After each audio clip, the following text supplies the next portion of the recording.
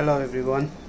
So this weekend we got another product for our photo shoot so here is a setup. So I have a couple of strobes parallelly.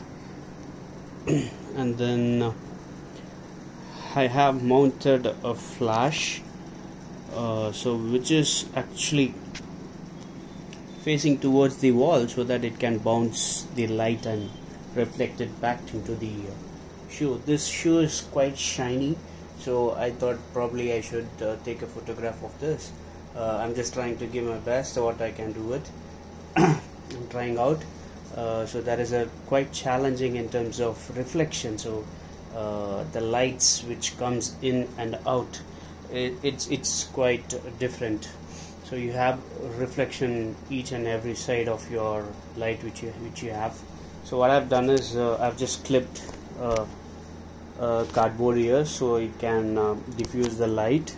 And this side uh, parallelly I have couple of uh, A4 sheet paper so that uh, it it covers up the lines which is here which comes here. So you, you still you can see there is a line. So if you do not have this paper it will have a lot of lines here. So it will be uh, uh, it will not cover up the shininess in the shoe. So I'm just trying to capture it the shoe the way it is. So I've connected to the uh, system.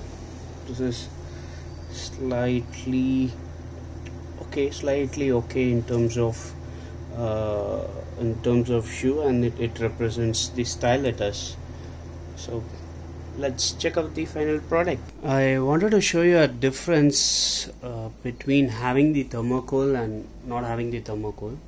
So the reason is I was I was using this flash as a bounce.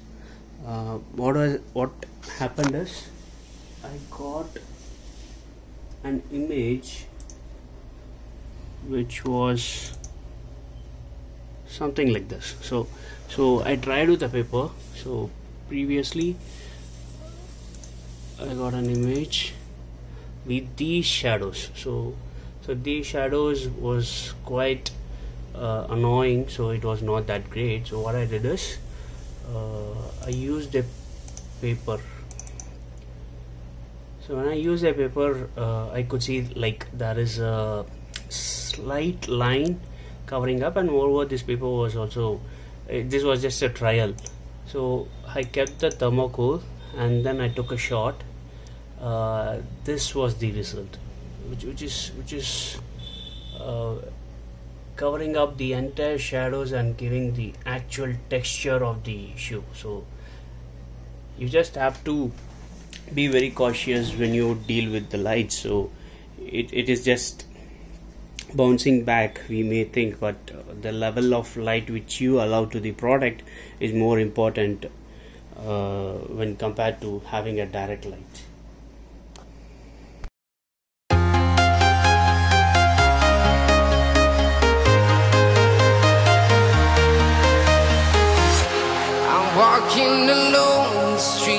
empty. The only thing I can see is my own silhouette.